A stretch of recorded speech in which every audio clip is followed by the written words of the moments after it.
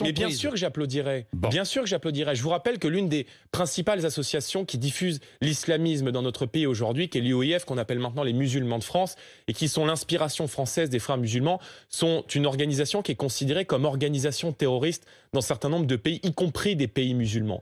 Alors je crois qu'on n'a jamais été aussi faible à l'égard du fondamentalisme islamiste. Et j'ai dit il y a quelques jours que les terroristes, que les terroristes qui s'en sont pris à Charlie Hebdo en 2015 avaient gagné.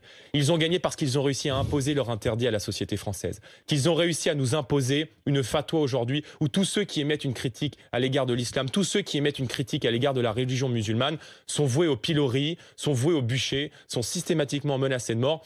Et, cela se fait avec une partie, une avec la complaisance d'une grande partie de la classe politique, et notamment d'une partie de la gauche, d'une partie des Verts, d'une partie des amis de M. Mélenchon, qui étaient aux côtés des amis du CCIF. Et j'ai même appelé la France insoumise et la France islamiste. Oui, parce que quand je les entends défendre le Burkini, quand je les entends défendre euh, une jeune, qui est une jeune française en tout cas à l'Assemblée nationale, et qui euh, arrive avec un voile, avec un hijab dans une institution de la République. Même eh si le règlement le lui permet.